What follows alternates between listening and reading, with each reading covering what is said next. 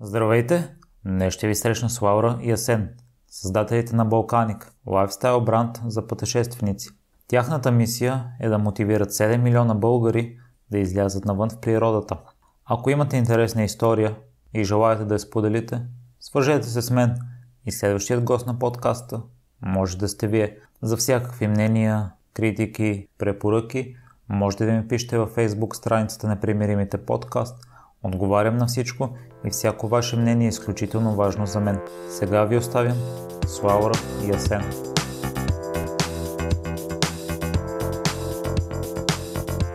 Здравейте, Лаура и Асен и благодаря много за приятата покана. Ще започнем първо с дамата. Лаура, ти си живяла и учила в Холандия. Ще разкажеш ли за този период? Здравей, Миро! Първо много ти благодаря за това, че сме тук в този подкаст. Живях в Холандия 8 години, от 17 годишна възраст до 25.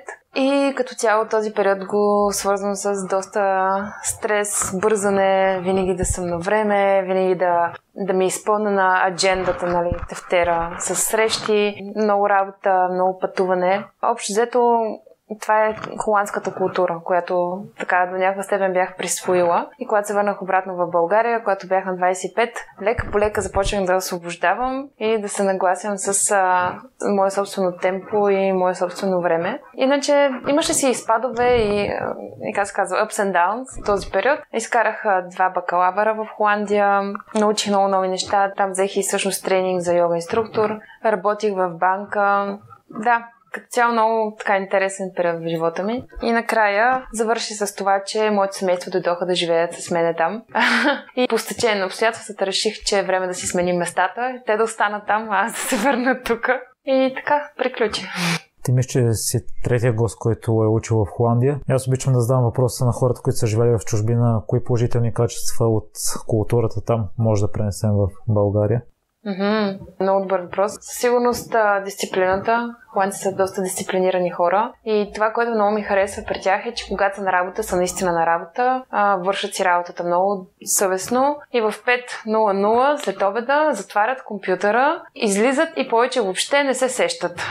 И общо взето това качество да си вършиш работата, да, да правиш нещата, които се изискват от тебе, да си честен с другите, да си казваш своето мнение, защото те са много добри в даването на обратна връзка, както и получаването на обратна връзка. Те затова и са толкова добре економически, според мен. Това са качества, които можем определено да вземем, а не да сме с нагласа, нали, аз знам всичко най-добре, аз съм безгрешна и така нататък. Да не говорим, нали, че инфраструктурата им е страхотна. Здравеопазването, университетското образование и равните права за всички, нали, това да, всеки да може да достигне до университета. Моето образование беше финансирано от държавата, де факто. Асеня, ти си живял в Штатите, в Калифорния в Аляска си бил. Ще разкажеш ли за този период? Здрасти, здрасти от мен, Миро. Аз всъщност като цяло да, бил съм два пъти в Штатите. Всъщност се получи така, че благодарение на тези студентски програми, които са Work and Travel програмите, аз имах възможността два пъти да пътувам и да живея в Штатите. Първият път се случи 2013 година, където прекарах около 6 месеца в Флорида. Имах възможността да пътувам около цялото източно крайбрежие, чак до Ниагарския водопад, нали, до границата с Канада. И някакси толкова ми хареса цялата тази култура, възможност да работиш нещо ново, да се запознаваш с нови хора, да изкараш пари и после да пътуваш след този период, че исках много да се върна. И така, за съжаление, пропуснах една година и 2015 година се озовах в Аляска, напълно противоположната страна, съвсем различна култура, различни хора, нищо, че пак е американски щат, където работих 5 месеца за най-големия северноамерикански национален парк, Денали. И имах възможността да се срещна с едни от най-вдъхновяващите хора в а, живота ми, местните парк рейнджери и съответно пътешественици от целия свят, които са дошли да предизвикат себе си, да научат нови неща за себе си, за планетата, за животните и в обща линия да посветят едно време за себе си, нали, в изследване. Благодарение на този период, който работих, после успях да сбъдна една моя мечта с най-добрите ми приятели да се срещнем в Калифорния, с които пътувахме около един месец, направихме роуд трип, карахме сърф, на мен сърфа ми е огромна страст. Успях да се докосна до меката на сърфа нали, в Калифорния, отидохме до Хавай, там за съжаление не успях да карам. И благодарение на тези Work and Travel програми в общите линии успях да обиколя източното, западното, Флорида, Аляска и един от хавайските острови Мауи, което смятам, че е голяма възможност. Кое най-много ти хареса от а, живота на американците, което може да го пренесем тук? Определено това, което най-много ми хареса от тях е живота в а, Денали, в парка, който видях. Той не е най-типичният американски начин на живот, нито дори като на местен, който е избягал по една или друга причина и живее в Аляска, защото там живот е много суров. Но много харесах чертите на американските рейнджери, които са посветили целия си живот за природата, за нейното опазване, за животните, за изучаването им и обучаването на деца и възрастни в а, така на, наречената програма Leave No Trace Etiquette. И това сигурно много ме впечатли, как да живеем в синхрон с природата, без да оставаме следа. Тази черта най-силно ме впечатли и оставя една следа така в мене и си казах, има много да се учи, трябва това нещо да се случи в България. И именно от Аляска ти хрумва идеята да създадете Балкеник. Да, благодарение на работата ми там всъщност в началото беше доста трудничко. Още си помня първите 20 и няколко дни там. И всъщност заминах с оферта да бъда бъсър, това е така наречения помощник на сервичорите. И смените бяха някакви доста натоварващи от 4 сутринта до обяд. В началото на сезона имаше така наречените бели нощи. Нощта беше 2-3 часа. Де факто лягаш си в 12 часа, ставаш сутринта в 3, отиваш на работа. Голямо тичане, обслужвахме около над 1000 души в този хотел, тъй като те са около 4-5 най-големите хотели на началото на входа на парка и целият туристопоток е концентриран там. Обаче нещо не се разбрахме много с менеджерския екип и в един ден се оказах безработен и с 2 часа срок да се изнеса от квартирата си. И така започна моята история там след 22-я ден. Бях 13 дни бездомен, където трябваше да ходя да намирам приятели, да спа в техните коли, да пътувам до съседното градче, да спа с един приятел, делихме дори едно легло.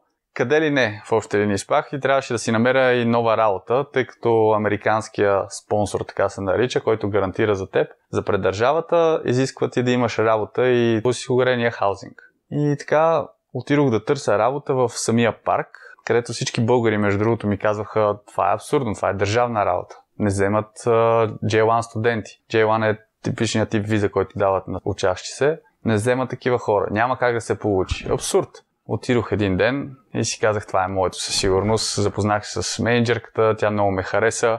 И така ме взеха на работа всъщност да работя за тях. Не остана проблема с хаузинга, който трябваше да намеря и благодарение на други контакти, които бях направил, започнах да работя за друго американско семейство, които имаха автентични бунгала и ми дадоха възможност да посрещам пътешествениците от гарата, да ги карам обратно в бунгалата и да ги развеждам понякога в парк. Та така, благодарение на това семейство и работата, която започнах да посрещам тези пътешественици, които избираха един по-алтернативен начин да спът в тези бунгала и сами да си съставят своя план. Аз се срещах с най-различни хора от всички точки на света. Японци, корейци, австралийци, американци, канадци, европейци. И с всички от тях успявах хем да чуя тяхната история, хем аз да разкажа моята история, която ми се виждаше супер интересна. И им разказах за България колко много готини неща могат да се правят, как сме супер малка територия, обаче имаме море, планини, всякакви възможности, outdoors, предизвикателства, които каквото искаш може да правиш. Благодарение на това, тогава точно помня един ден си казах,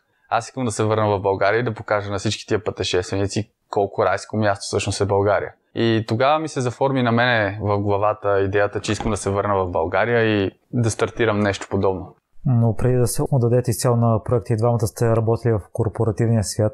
По какъв начин сте съчетавали нещата тогава? Хм, ми, то беше много интересно, защото после се прибрах след всичко прекрасно, нали? Идва и времето, в което се връщаш в реалността. И в общи линии така се прибрах в България. Там се бях запознал с много интересни хора. Едно момиче, тя пътуваше заедно с своя приятел, бяха номади, работеха лятно време в Аляска, изкарваха доста пари и си позволяваха през останалите месеци да обикалят из целия континент, да практикуват йога и да правят снимки на природата. И много се вдъхнових от техния начин на живот и по този начин исках и аз да се докосна до йога практиката, която там ми беше дадена, нали? имах възможността да практикувам. И така, като се върнах в България, започнах да търся в общи линии къде да практикувам йога. Обаче в същото време и парите започнаха да свършват. Всичките ми приятели и семейство казаха, време е, приятелю, време е, добре дошъл в реалния свят, трябва да си намериш работа. За какво си учил, нали? И магистратурата тогава си завършвах. Трябва да си намериш нещо по специалността, нали? Време е да се вземеш ръце. И така започнах работа за една американска фирма, която тъкмо си отваряше представителството в София. Нищо общо с моята специалност, но в интерес на истината ме взеха благодарение на моята лична история, която разказах тогава на собственика на фирмата. То беше Bankruptcy Law Firm. Нито съм адвокат, по образование съм маркетолог, нищо общо. Но така започна началото на моята корпоративна кариера.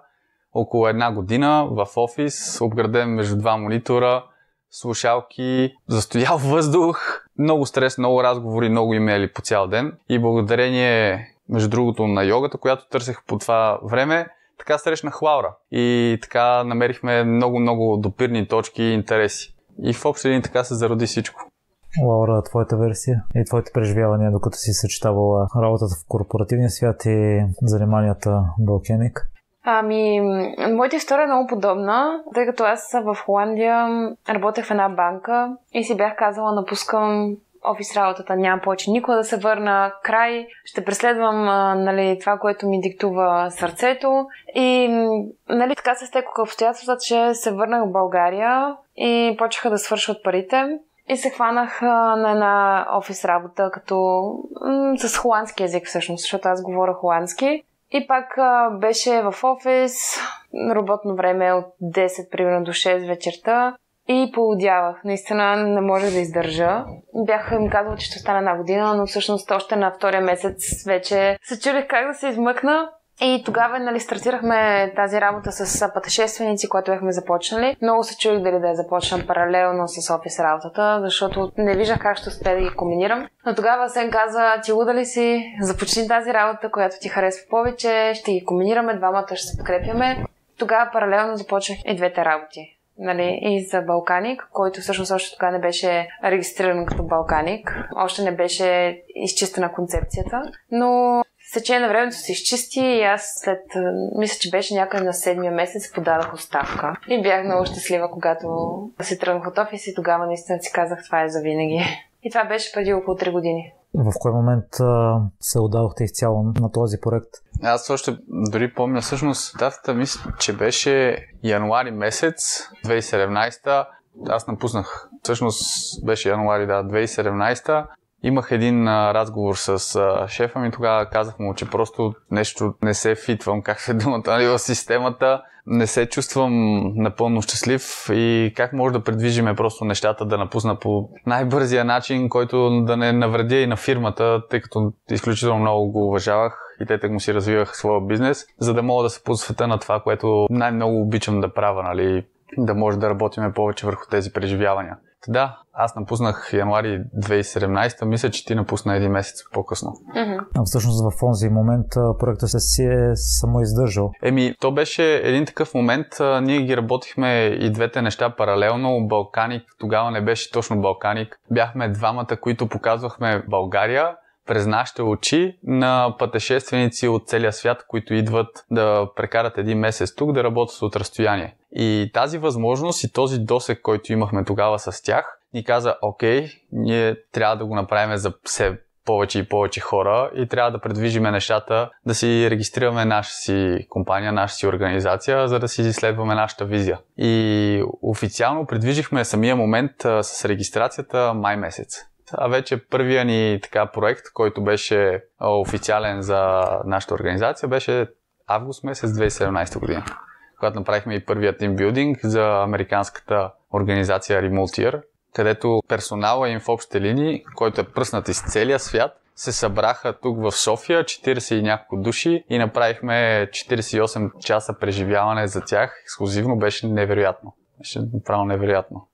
Много ми допада това, че преживяванията вие сте ги изпитали преди това и това, което на вас ви харесва, това предлагате на гости в Forbes. Аз също прочетох, че са ви оценили работата, която правите, но след като сте се отдали изцяло на проекта, имало ли моменти на трудности в началото и в които сте били на кръстопът да продължим или да се откажеме?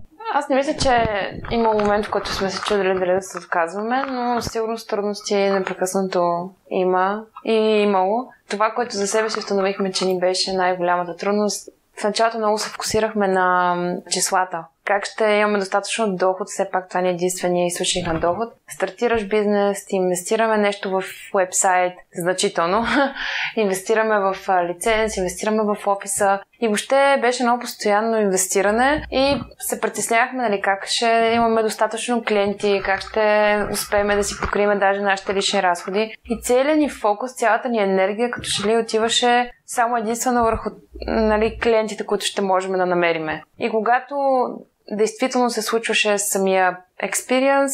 Даже тогава имам чувство, че не успяхме да релаксираме to ease into it, нали? да може да се отдадем на 100% на хората и на комуникацията с тях. Ами още мислехме, нали? Може са повече хора, сега какво направим за следващия продукт и така нататък.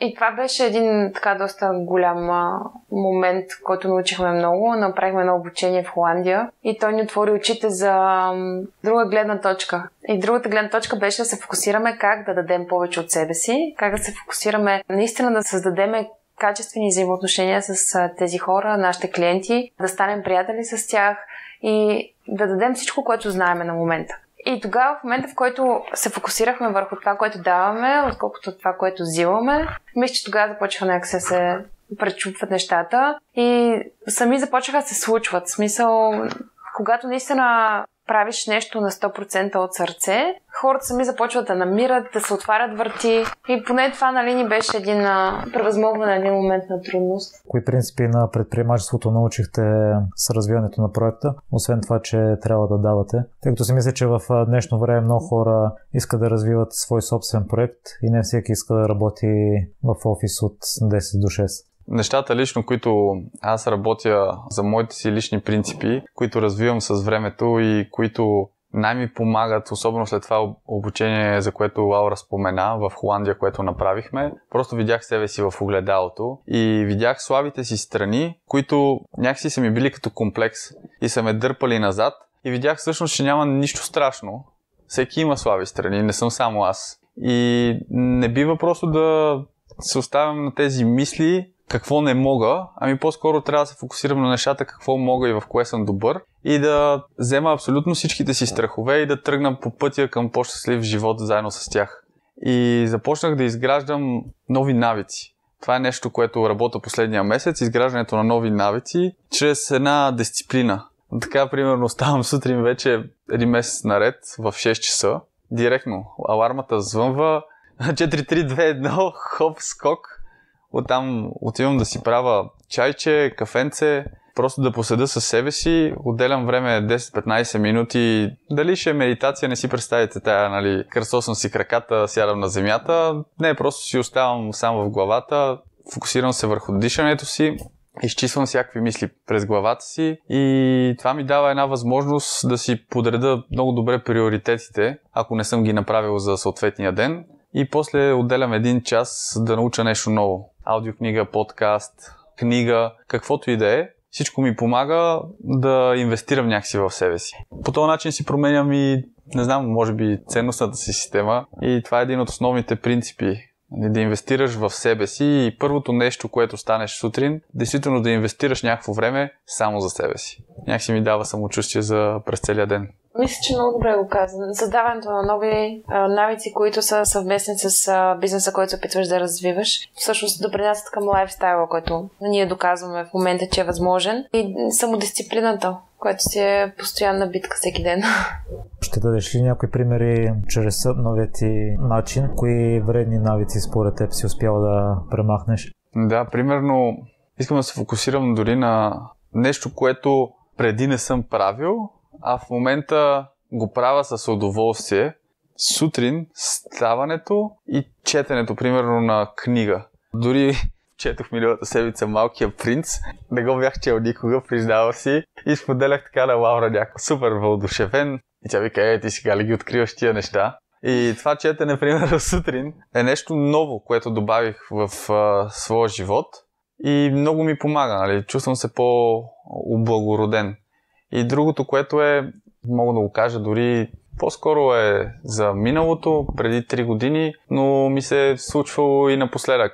Ако много стрес ми се натрупа на главата, много умора, примерно една-две бири, три мога да си позволя да изпия. Обаче в момента съм се концентрирал на това да създавам нови навици, които да ми помагат да няма нужда да употребявам някакви средства да разпусна, ами да мога винаги да се върна към тях, когато усетя този стрес, напрежение. Давам пример за това и това е примерно йогата или отскоро започнах да ходя на плуване с учител, с треньор или просто отивам да се набирам и това ми е напълно достатъчно. 30-40 минути, дори една разходка. Просто дисциплината да направиш това нещо, което знаеш, че работи. И да не се оставаш нали, на пороците. Не казвам, че не ми се е случвало нали, да пия една бира или две бири, но не е това фокуса. Да изграждаме полезни навици, които да ни помагат да се справяме с стреса в съвременния динамичен начин на живот. И практически преведено в офиса, това, което ни помага тези работи, когато прекараме преклено дълго време пред компютъра или нещо не се получава да затвориме, да си поеме няколко дълбоки дъха, да изчакаме да се разходиме из квартала и после се върнем и да го продължиме. И тъй като и сме само ние двамата, нали, ние сме, представляваме компанията, нямаме някой да работи за нас, всичко зависи от нашите собствени усилия. Мисля, че тези ритуали, които създаваме, много ни помагат да, как се казва, да не потъва кораба в а, моменти на отчаяние, нали, нищо не работи, няма да се получи и така нататък, ами просто да се надъхваме един друг и да продължаваме напред. Аз не, понеже ми стана интересно, mm-hmm. а примерно да кажем, че си по стрес и искаш да изпиеш две-три бири, mm-hmm. в този момент ти ли правиш йога, или отиваш да плуваш, или отиваш да се набираш, така ли? Или дори мога да направя просто една разходка да излеза в най-близкия парк, градинка или дори из улиците. Просто си намираш някакъв ритуал, създаваш си ритуал, в който винаги когато почувстваш тази тревожност, стрес, каквото и да е натовареност, да мога да се върнеш към него и той да ти даде тази свежест, нали, нова гледна точка, просто да разпуснеш, да разтовариш.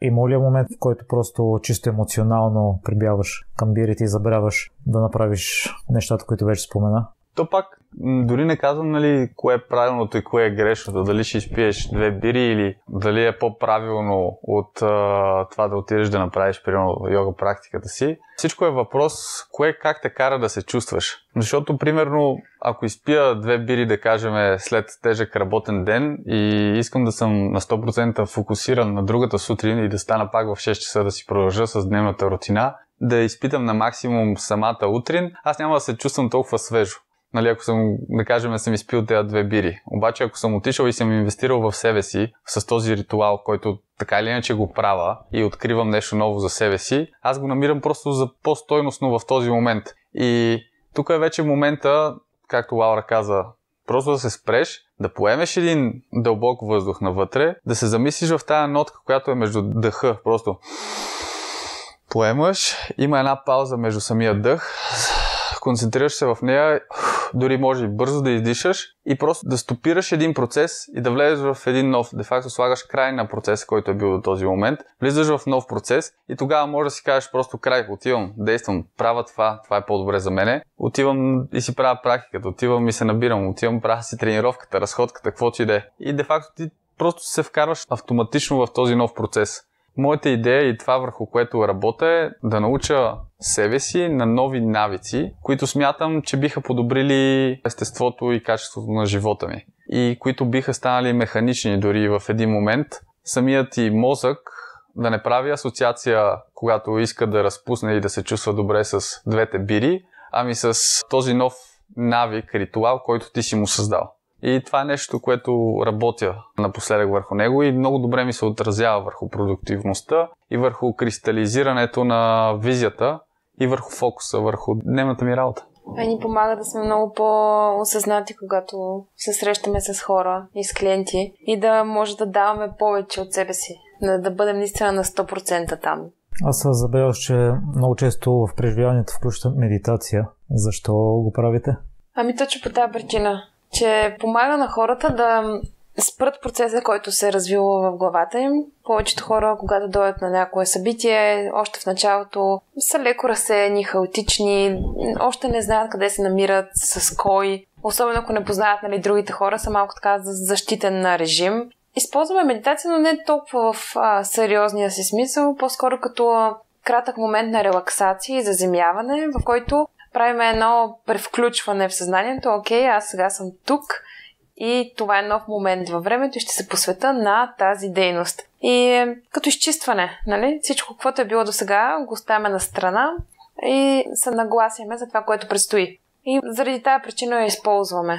Особено пък ако сме в природата, да усетиме природата, да, да, да осъзнаем къде се намираме. Друго нещо, което забелязах, че често правите, гледате изгревите или залезите. Какво ви дават те? Това е една дейност, която бяхме стартирали от миналата година, 2018, където всеки четвъртък от началото на май до септември организирахме събития, за пътешественици от цял свят. И като казвам от цял свят, българи също така идваха, така че събитията бяха изключително отворени. Искахме да се запознаваме с все повече хора, които идват а, тук в България да я опознават и да им покажем една по-различна гледна точка. И пак в случая беше през нашата призма, като започвахме деня с а, изгревите. Това е просто невероятно преживяване ти да усетиш и да видиш първите слънчеви лъчи, да се събудиш толкова рано, да усетиш спокойствието на града, на цялата атмосфера, енергията на града е някакси изключително спокойно. Още няма никой. На улиците ние се качваме много-много рано на едно много специално място на Витуша.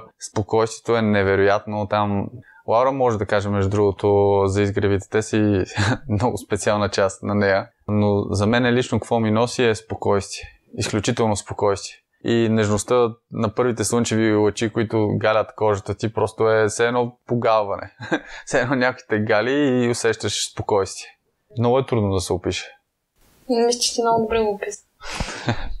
Вие в сайта сте написали, че по време на събитията хората ще имат шанса да преживеят нещо за първ път. Кое беше последното нещо, което вие направихте за първ път? Много добър въпрос. Бяхме в Азия преди два месеца. Това беше всъщност за първи път, когато отиваме, си дадохме сметка на изток, а не на запад. И беше едно такова предизвикателство, понеже бяхме в Бали, което е доста популярна дестинация, но на мен винаги ми се е струвало като нещо много недостижимо, нали? И предизвикахме себе си, казахме, че ще намерим начин да, да стигнем до там, да отидем толкова надалече и всъщност това, това беше нещо, което направихме за първи път. Последното нещо. То Азия на тебе ти беше доста голяма мечта в интерес на истината. Да. Още от как се помниме и както ти го каза, за първи път се установяваме да летиме на изток. Аз действително за първи път през живота си лета с самолета на изток, а не на запад. И да, това беше доста интересно. Иначе и този уикенд имаме преживяване с рафтинг. И тогава смятам за първи път да скоча от една скала, която вече е трета година подред ходиме и, и се не ми стиска да скоча. Така че това те първо предстои. Може би като вече сме скочили, мога да се похваля. А това е онази скала, с която Асен е скачал, за която говориш в профила си. Да, да, да, абсолютно. Тази скала, между другото, аз за първи път с един приятел ме беше завел, с него заедно бяхме в лодка, той е водач, беше си основал клуба и заедно израснахме в един квартал и с приятелчета ни покани да ни покаже нали, с какво се занимава. И така ни заведе до въпросната скала и каза, е, там горе, между другото, може да се качите, да скочите, аз ще ви чакам надолу по течението, защото няма къде да акустирам. Нали, сам водач съм, няма как да отбия тук. И тя се опурих и викам, как така е, то откачен. Тия моите хора директно, хайде, хайде, добре, бързо, бързо тичаме нагоре. И така всички 1, 2, 3, 1, 2, 3, скочиха, скочиха, скочиха и аз останах последен. И то около 7-8 метра, с извинение, направо се еднакъв гашите, като усетих, че трябва да скоча скочих, предизвиках себе си, чувство беше уникално, защото действително се предизвиках. То е като всяко едно нещо в живота. Имаш възможността да го изпиташ, да преживееш нещо ново, но то те чака извън кръга на комфортната ти зона, нали? дали ще се осмелиш да излезеш там. Чувство беше невероятно, просто все едно се рестартираш, адреналина така те обзема, после не можех да мъкна до края на вечерта за мен си беше много голямо преживяване. Ти споделяш, че като скочиш от скалата, след това ще може да се впуснеш в всяко предизвикателство. Същата максима сподели вождия на The Amazing Race, но неговата история с бънджи скок. Че ако скочиш с бънджи скок, след това вече знаеш, че може да направиш всичко. Според вас има ли нещо, което може да направим, за да създадем тези емоции в градски условия? Да не ходим до мостове или до скали? То е абсолютно всяко едно нещо, което ти можеш да се предизвикаш в живота може да ти даде тази възможност. Дори да ходиш на улицата, да кажем, правиш си регулярната ежедневната разходка и виждаш красиво момиче от другата страна на булеварда и си кажеш, леле, тая матка е супер готина, трябва да направя нещо, нали? И тук е вече твоя избор. Дали ще направиш нещо, ако си сингъл, дали ще направиш нещо да поканиш това момиче да излезете на по кафе и ще имаш възможността да промениш нещо в живота си, или ще си намериш един куп оправдания защо не трябва да го правиш и ще кажеш, абе всъщност в момента не съм с най-добрите си обувки, не изглеждам много добре, не съм много представителен, пък сега се връщам от тренировка, целия смърда, а е другия път. И така, поставяме ли си такива пречки или по-скоро не са пречки, казваме ли си такива самозалъгващи се думи, ние изпускаме един куп възможности. И тук е ключа в предизвикателствата. Всяко едно нещо може да се предизвикаш и да вземеш максимума на ситуацията. Идеята на проекта ми е хората да сбъдват мечтите си. Вие вече споменахте за Бали, че това ви е било многогодишна мечта. Ще разкажете ли процеса по изпълнението й и кое ви е спирало в миналото? Винаги ме е спирало това, че нали са не е правилният момент, нямам достатъчно пари, ама какво точно ще правя като да там. Търсила съм доброволчески програми даже. Даже всъщност установих, че 2013 май бях кандидатствала да съм доброволец за Бали Спирит фестивала. Приеха ме, тогава си измислих оправдание, че нямам достатъчно пари за самолетен билет. Не отидох и постоянно нещо ме спираше. Докато нали, с една моя колежка, приятелка от Амстердам, накрая не си казахме, окей, отиваме, без значение какво, ще се постараме да се случи. Имаше моменти, в които тя се разколебаваше, тръгваше се отказва, аз тогава ви казах, не, не, не, ще правиме го. После аз се разколебавах, тя ми казваше, не, не, правим го. И общо в случая си намерих accountability партньор. С някой, с който да може да се отчитаме един на друг и да се бутаме напред.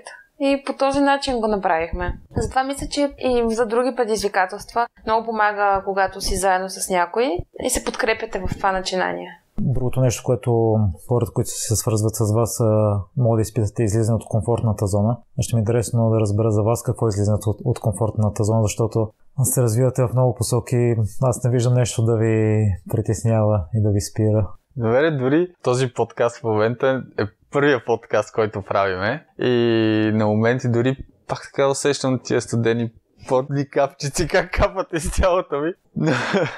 Но да, бих помислил на този въпрос, защото е много интересен. И всеки ден, между другото, всеки ден има някакви предизвикателства, дори и да са малки. И те са примерно в развитието на нашия бизнес. Вчера, мисля, че онзи ден беше. Всъщност, дори се предизвиках да се свържа с едно момиче, с което се бяхме запознали супер случайно на едно събитие в Софтуни с общи интереси, които имахме тогава в маркетинга. Намерих и телефона, свързах се с нея и така доста запалено и разказах за идеята за развитието на Балканик и къде са примерно нашите слаби места, нещо, което доскоро някакси не можех да го споделям до такава степен с непознати хора и да поискам за помощ. Просто я помолих за помощ, тъй като тя има интерес в маркетинга, развива се в тази индустрия. Ние в момента имаме просто голяма нужда някой да ни помага с тази дейност. И така просто бях откровен, може би, с нея. Преизвиках тази среща. Тя се запали много по идеята и така насрочихме за другата седмица втора среща. И където тя ще си помисли с какво може да ни помогне за развиване на повече стратегии. И мисля, че благодарение на това, че и се обадих, Лаура така беше просто една вметка се запознава пък с едно друго момче, което пак имаме сходни интереси. Другата седмица ще правим първия си мастермайн, тук четирима души се събираме, да говорим за личностно развитие и да си помагаме един на друг. И така от някакви малки стъпки се образува нещо. Просто се образува, образува, образува и накрая се получава. Ще видим какво ще излезе, но сме много развълнувани. Лаура, ще разкажеш малко и за йогата, защото тя ти е помагала да се отделиш от динамичния живот. Аз хода стандартно два пъти седмично, но при мен няма този ефект. Mm-hmm. Колко време ходиш? От юни месец, може би, т.е. 7-8 месеца. Аз може би ходя заради самите упражнения. Да. По-скоро не заради самото изживяване. И някой път се усещам, че на сила ходя. Да, ми, така е в началото. Се иска малко нали, да се бутаме, но веднъж зарибиш ли се, всичко се случва много по-лесно. И аз започнах с йога преди около 10 години. И със сигурност началото връзката ми с йога не е била толкова романтична. Имаше периоди, в които не съм ходила въобще, после се връщах обратно и всеки път си казах, ей, защо не съм ходила? Докато нали, в един момент не се уверих себе си, не се убедих, че това нещо ми помага и че трябва да го правя всеки ден или колкото може по-често. И само тогава ще достигна до същината на нещата. И същината на нещата беше, че аз не бях щастлива в Холандия. И въобще не виждах смисъл, удовлетворение в нещата, които правих там, в това да градя кариера или да... даже да карам университетско образование там. Не виждах никакъв смисъл. И по пътя на практиката на йога, така се достигнах до България. И тя ме върна обратно в България. Аз това наистина много го вярвам. Така че вярвам, че си е практика, която може да те доведе много далеч отвъд физическите упражнения, стига да повярваш в това. Кое е общото между йогата, виното и храната? Това беше един мой проект в Холандия, Yoga Food and Wine.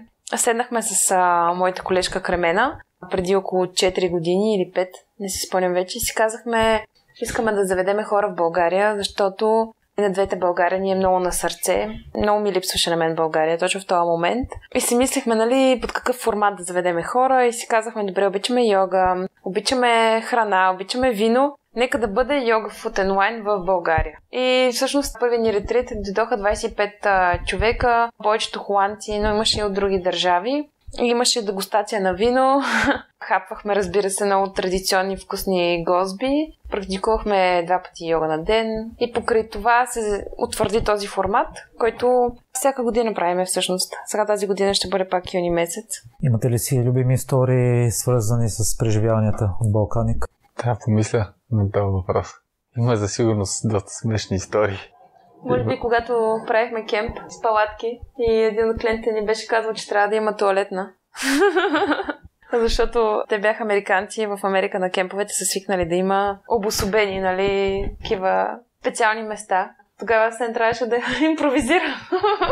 Да, тъй като този кемп а, го бяхме направили и то се казваше, нали, то е на моето любимо място, на камбаните, местност, край която съм израснал много държаха нали, на тая туалетна, туалетна, туалетна, туалетна, но до сега бяхме работили с много групи и никой не държеше толкова да има обособено място нали, за туалетна. Пак имахме един кът, който беше в гората, всичко предразполагахме дори с кошчета, после нали, да може да е чисто, да не оставяме никаква следа след нас. Но организатора, между другото, на, на тази група, той пътуваше с тях, беше им като experience менеджер и той им беше обещал всъщност, че ще има туалетна, че всъщност не е кемпинг, а е глемпинг, нали, много луксозен вариант. В общи линии той си беше измислил историята и ние трябваше да я замажеме. При което аз се чудих как мога да измисля сега туалет, какво да направя бях сковал с едни дърва. Между две дървета бях сковал нещо, на което да можеш така да приседнеш и с една стара палатка я бях разпарчетосил и направих като дави с нея. Беше голям смях, защото те хората очакват глемпинг, нали? И така пристъпват. Дори имаше момичета, които си носиха не ранички, ами с куфърче на колелца. Обаче той е на 40-50 минути ходене от метростанцията, все пак си е в гората. Влачеха ги през рекичката, по байрчетата, напред-назад. Идват, гледат го това нещо, направо се фараха за главата. Две от момичета казаха, аз не мога да си представя, нали, как може такова нещо да се случи. И тогава той направи демонстрация как се използва. да, направих и между другото демонстрация как мога да се използва това нещо. И я слушаха американците са много изпълнителни, да, че като им покажеш нещо с а, увереност, че това е начина и като им покажеш стъпките, всички изпълняват. И всичко протече в крайна сметка уникално добре както винаги. Просто, нали, като очакват нещо да е блестящо, нали, с този перфектния завършек, нали, малко бяха шокирани, но беше много забавно. Много добре си изкарахме с всички. Много се забавлявахме. В сайта ви намерих една реплика, нека поставим много начало в живота си. Какво ви е мнението за новото начало? Тъй като съм имал предишни гости, които на няколко пъти ме се налагало да започват живота си от начало с Нора, която също е йога инструкторка. Си говорихме, че всеки ден човек се променя и това, което сме били вчера, не сме днес. Предаването на Ланс Армстронг също се казва напред и идеята му е именно такава, че няма значение какво си правил в миналото, важното е да продължиш напред. И, аз съм напълно съгласен. с тази максима. А отделно ние сложихме шапката за 2019 ново начало, защото и ние самите се обърнахме към българите.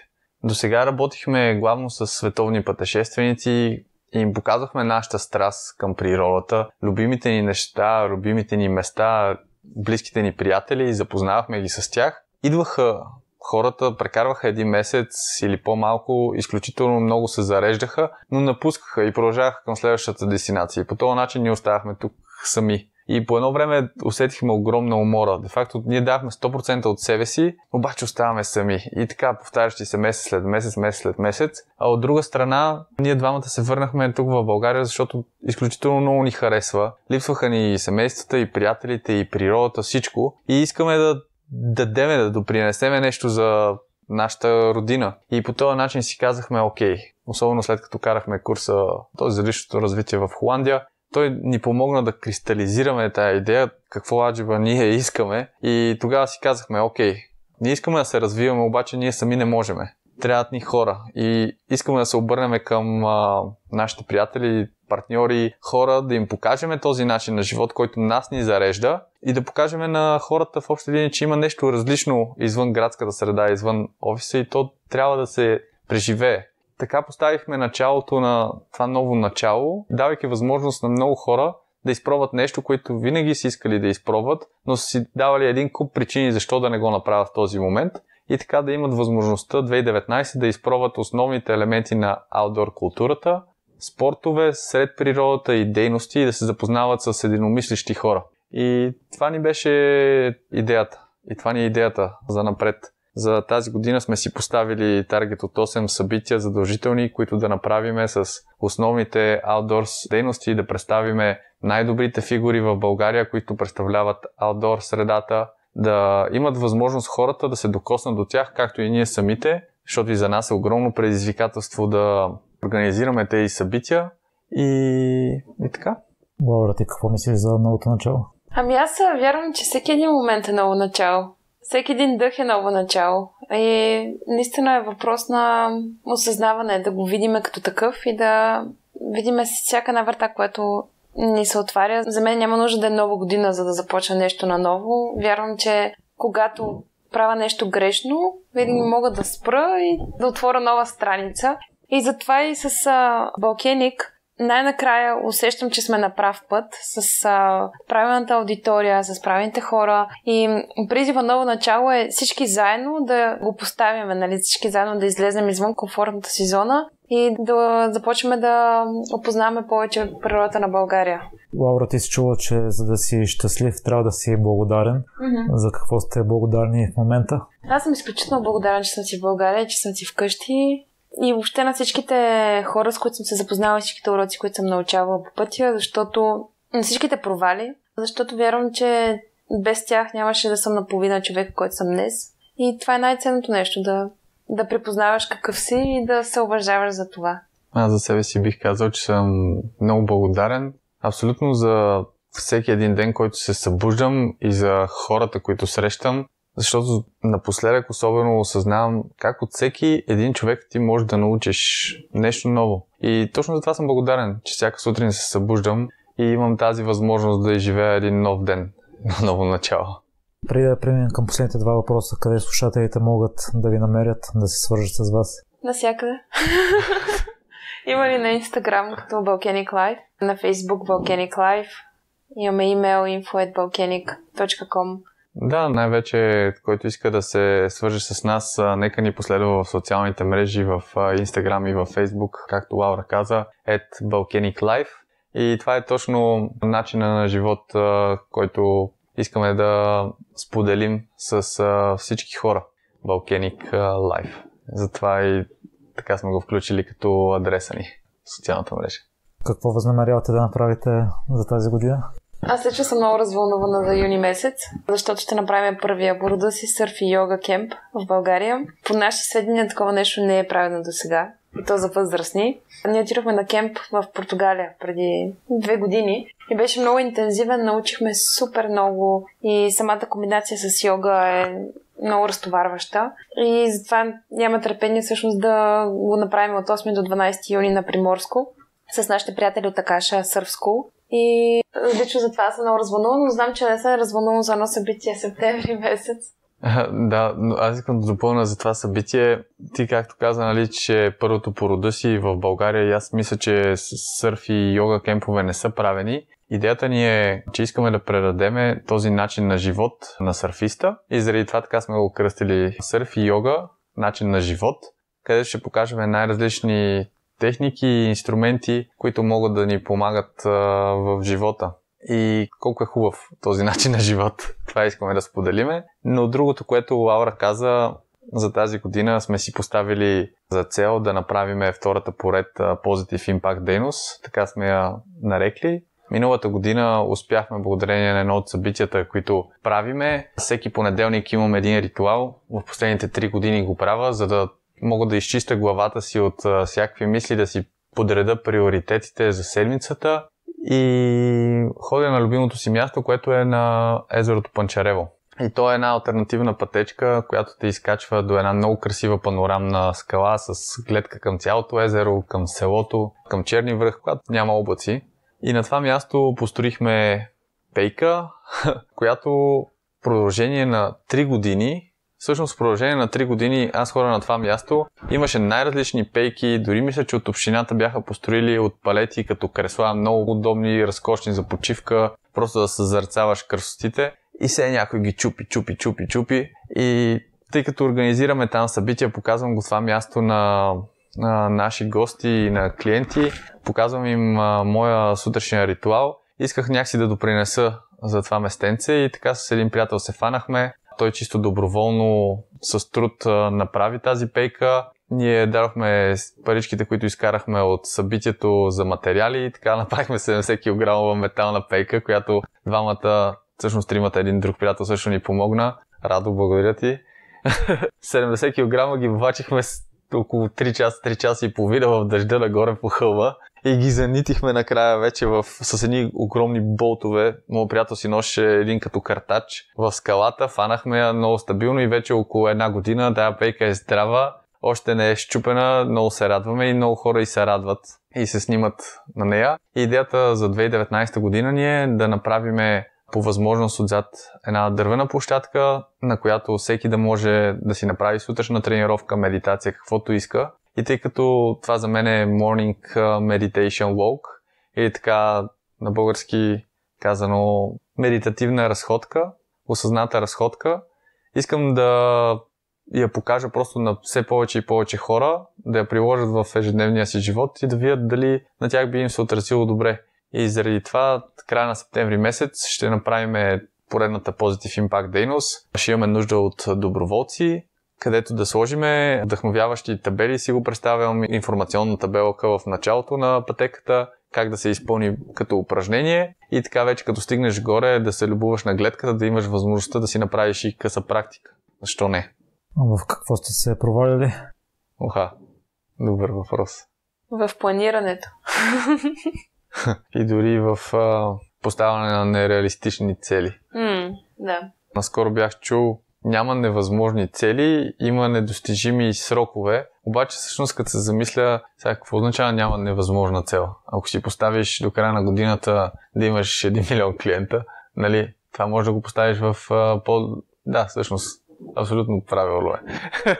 Няма невъзможни цели, има, има неизпълними срокове. Да, на нас провала ни, който така ни караше да се чувстваме с доста ниско самочувствие и ни взимаш от енергията, беше, че си поставяхме някаква нереална цел и естествено не успяхме да изпълниме и се чувствахме много потиснати, как за нищо не ставаме, ето пак не стана, как им се получава на другите хора. И в момента, в който се научихме нали, да си поставяме по-манички цели и стъпка по стъпка да го изграждаме, да не, да не се стараем да правим всичко едновременно, тогава някакси забелязахме, че като че ли това е правилният подход. Но да, всеки ден си има победи и провали. Научихме се също така да си празнуваме успехите. И защото, нали, много често правиме нещо, получава се успешно е, но бързо забравяме. И когато на следващия момент има провал, и се фокусираме толкова много върху него, че той ни взима цялата енергия и самочувствие и въобще драйва в този момент. А с какво се гордеете най-много? Аз Балканик? Аз най-много се гордея с това, че сме двамата в този проект и изключително много се подкрепяме. И както тя каза, един ако се почувства не е толкова мотивиран, другия веднага е насреща и му помага. И по този начин създаваме една ефективност върху себе си и подкрепа, истинско, истинско партньорство както и в личен, така и в професионален план. Благодаря ви много, Лауър Ясен, за този вдъхновяващ разговор. За мен беше изключителна чест, че ми гостувахте. Мерси за поканата, Миро. Беше удоволствие да бъдем твои гости и до нови срещи. Много ти благодаря за доверието. Благодаря, че слушахте целият епизод до край. Още веднъж, ако имате интересна история и желаете да я споделите, свържете се с мен и следващият гост на подкаста може да сте вие. За всякакви мнения, критики, препоръки, можете да ни пишете във Facebook страницата на Примеримите подкаст. Отговарям на всичко и всяко ваше мнение е изключително важно за мен. Лек и разкошен ден!